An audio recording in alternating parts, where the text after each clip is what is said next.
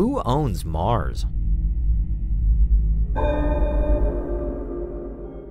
More than 500 people have now been to space, traveling into orbit, going all the way to the ISS, or even as far as the other side of the moon.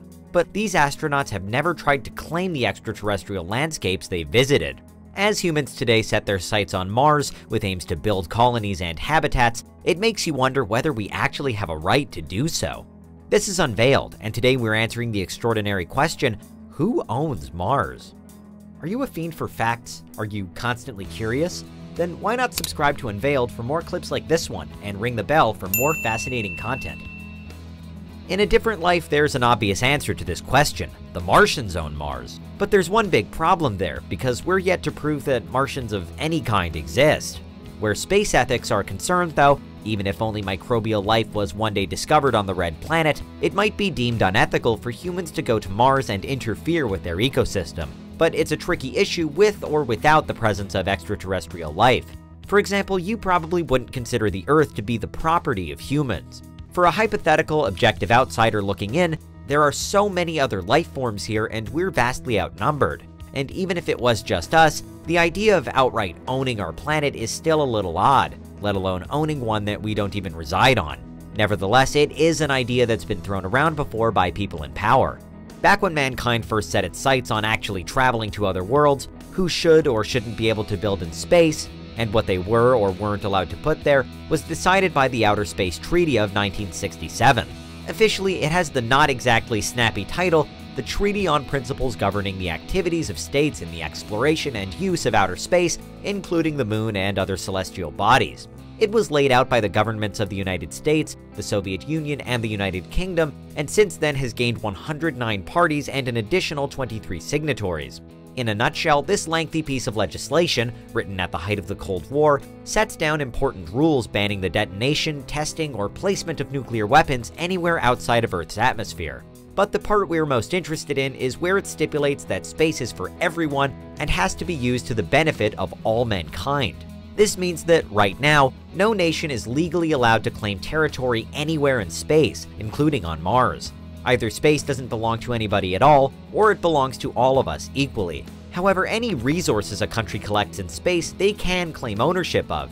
If somebody were to set up a mining rig on the moon to harvest polar ice, for instance, they'd own the water they gathered, but they still wouldn't ever own the land they were mining. Similarly, if a country launches something into space, they still own whatever that something is. So satellites, space probes, shuttles, and so on don't automatically become the property of everyone once they're launched into orbit or beyond. Something like the Curiosity rover will always belong to NASA and the US, all of which means that even if a country builds and populates an entire city on Mars one day, unless the law changes, they'd own whatever they built but still wouldn't be entitled to the land they built it on. It's similar to the rules on international waters. You could build and own a rig on the high seas, but you can't own the actual water that rig is built above. But despite the clear laws detailing outer space territory, outer space real estate is still a thriving venture.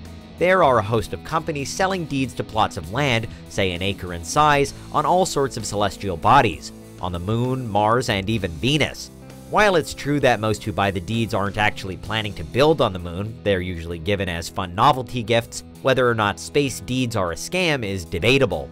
The businesses themselves could argue that they're simply using a loophole because although the Outer Space Treaty says that no nation can own land in space, it doesn't specifically say that no private company can.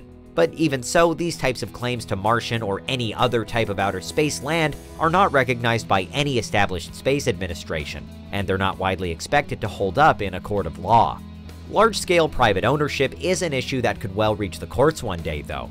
Big brands like SpaceX, Boeing, Virgin, and Blue Origin are all vying to go to distant celestial bodies while, in 2016, Moon Express became the first private company to gain permission from the US government to go to the moon, as part of their bid to land the Google Lunar X Prize.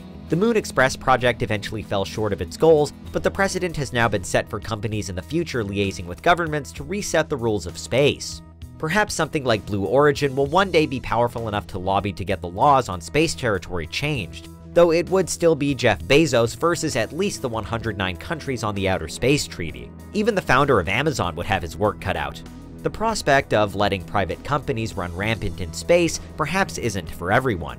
There are plenty that argue that space should continue to be explored and utilized carefully with all of mankind's best interests at heart. But not everyone shares this opinion. Alan Wasser, the chairman of the Space Settlement Institute, has suggested that letting private companies into space would actually encourage growth and could trigger faster development and implementation of space travel tech.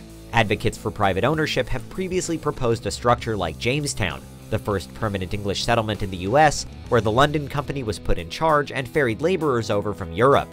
Anyone concerned with space ethics might have a thing or two to say about this idea, though not least because of how many people died during the formative years of Jamestown, but also because those colonists proceeded to take as much land as possible and were ultimately responsible for the Native American genocide.